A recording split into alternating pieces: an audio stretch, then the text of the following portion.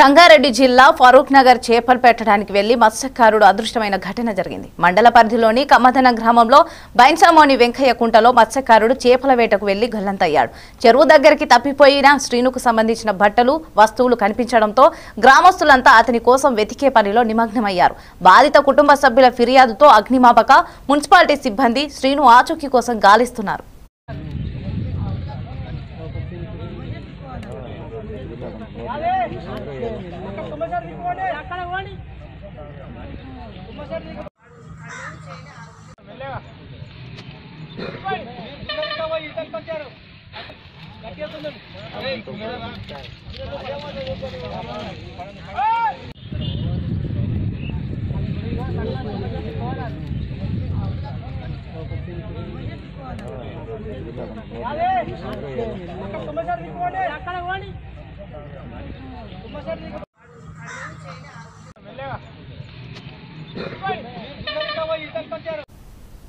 निर्मल जिला तानूर बार्डर